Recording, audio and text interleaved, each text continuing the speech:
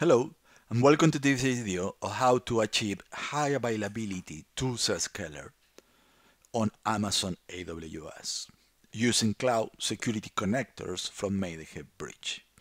This uh, network diagram looks quite complex, but you will see that it's very, very easy to achieve high availability because everything is automated and it's only three simple steps.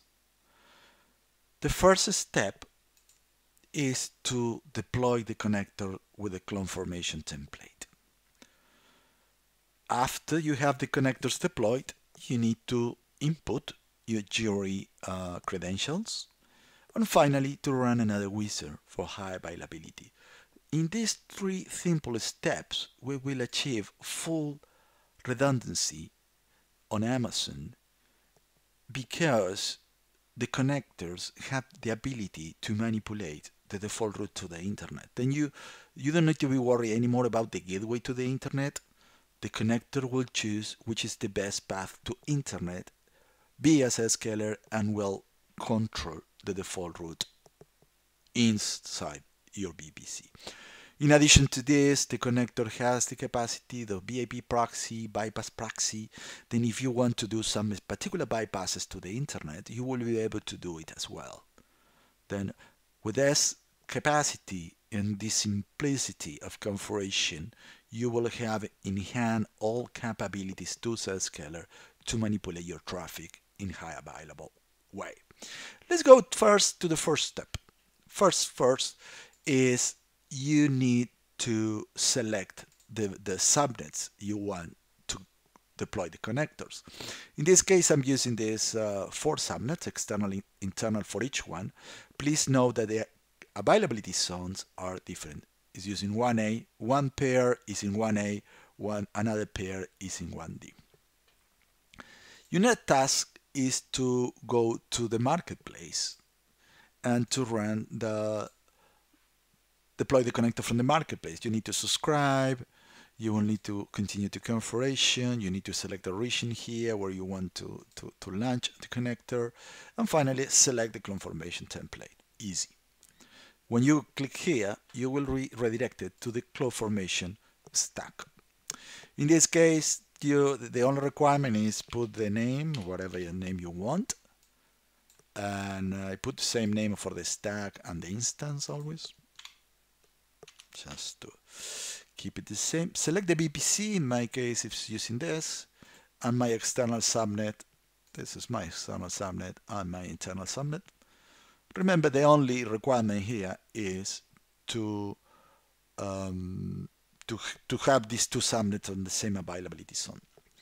And finally, select uh, the instance type. We recommend to use T3A because it's cheap and very, very good in performance. You can use a small, medium, or large. That's, uh, but in terms of performance, small is good. It's half gig. Uh, medium is more than half gig. Uh, and large is when you want to achieve one gig or sometimes it's also capable to do more. And put uh, select the key to connect to the instance. That's very, very easy. Only external internal subnet, put the name, select the instance, and the key. The CloudFormation, click next, next, next. The CloudFormation template will do everything for you and it will launch the, the instance automatically. Your first task after the, the launch is uh, of the launch of the instance is to go to check the Ethernet one and to see which is the private IP of Ethernet 1. Ethernet 1 is the internal interface of the connector. Then you need to SSH the connector on this IP, Ethernet 1 IP. I have here the, the connection already done. And when you start the connector, you will receive the, the this is your the welcome the uh, wizard to the GRE credentials. And the connector will show you which is your public IP. With this information in hand, you know to open a ticket to Zscaler and ask for the GRE uh, credentials. In return, uh, will provide you an email with these values, primary destination, second destination. then the only task you need to do here is to run this wizard and to copy paste the values. Done. This is the only task you need to do. You need to do in both. Okay, you you when you go to to the other other connector, uh, you need the connector will show the, the, the IP, public IP, submit a ticket to Zscaler. Zscaler will return these values, just copy paste the values, and you are ready to go. Then the first step, um, please, please, please uh, remember to create the locations on the on the Zscaler console for these two public IPs, those two GRE tunnels. Create the location, and this is all that you need to do for the moment. Then the first step, uh, launch CloudFormation template is click, click, click, select the external internal interface. The second one is just open a ticket to Zscaler, copy paste the credential, and then let's go to the high availability now. Uh, for the high availability is also very, very easy. I will put no here. The only task you need to do is to uh, go to the wizard, here, high availability wizard. And the, the, the, wizard explains what you need to do. And let's do a quick uh, overview. Let's say, well, deploy a pair of CSCs. We did it. Uh, we have a pair. Uh, be sure that there is con connectivity between each other. Of course, the, the connectors will talk via internal interface. Then you don't need to restrict the communication between them. Uh, normally, by default on, on Amazon is allowed to talk. The, the next is say create a role, an identity, uh, and with this values, then we need to create a role. I have the role assigned here on an identity and access management and the role has a policy that allows on EC2 to read the instance and to read the routing table and also to write the routing table because the connector is going to replace the route. Uh, in addition to this, we want notifications. Then on this role, we also allow to publish a short uh, simple simple simple message in order to receive the notification. Then uh, we need to have the role. We uh, I created this this role for the connector, and we need to apply to the instance. Then you need to come to the instance and to apply the role to the instance. For those who never did it before, just go to instance settings, attach, replace IAM role, and select the role. Period. Apply. Okay? Very very very simple to do. Then in both you need to have the role assigned because the connectors are going to manipulate the routing table. Um, let's continue with the wizard then say get the routing table ID what is the default route to the internet good I will uh, go to my um, routing table and I have this routing table that I'm using where is the default route to the internet. Uh, this routing table has these as these associations, these subnets. It means all these subnets will send the traffic via the connector. These are affected by the routing table. Then all traffic you want to send to Zscaler, you need to put the subnets here. And you need to take note of the routing table ID. That's it. Good. Also, quick, quick, uh, please be careful that you need, when you are putting the default route via the internet, you need to have another route to your internal services or public IPs. And in addition to this, remember, you need to create endpoints for uh, the services you want to connect because because the traffic is going via Zscaler, potentially you will lose connectivity to some internal AWS services. Then please be aware you need to create an endpoint. In my case, I need to create to EC2 and to SNS to be sure that the connector can reach these services in order to uh, get the information of the instance and to send a message. Then routing table, again, let's do an overview. Create a route, create the default route here. This is the value the connector will modify. Put the subnet you want to send via Zscaler.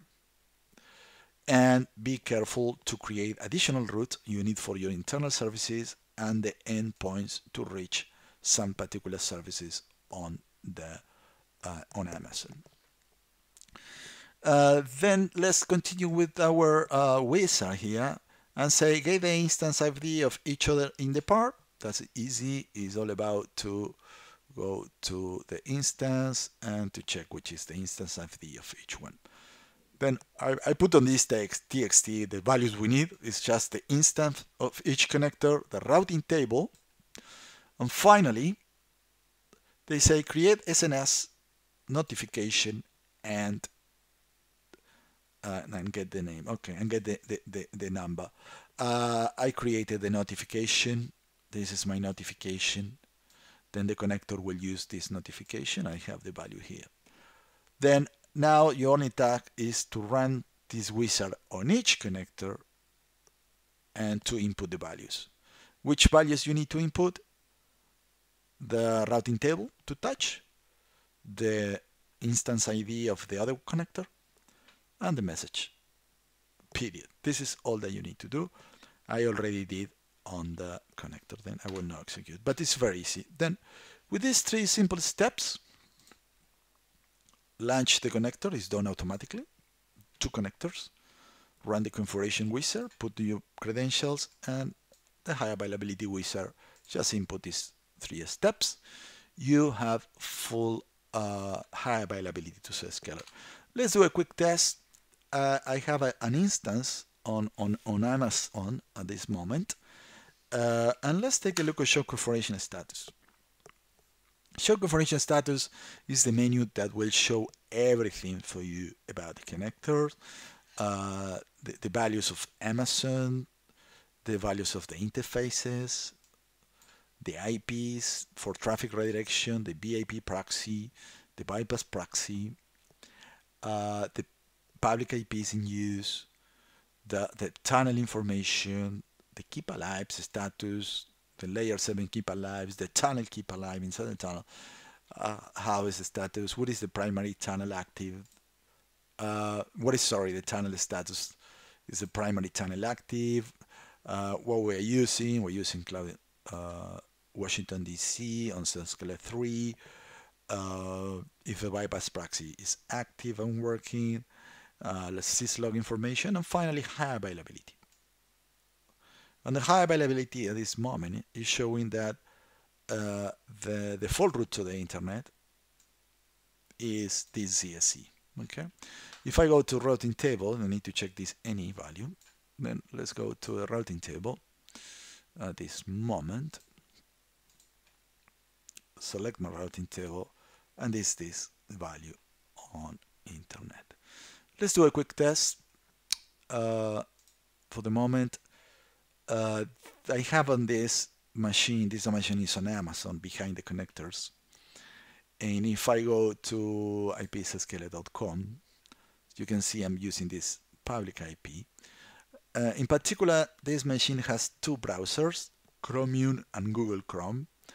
Chromium is using Pacfile at this moment. This will allow me to do bypasses. As you can see, it's pointing to the BIP proxy of the connector. And I have here as well another browser, also living from this IP.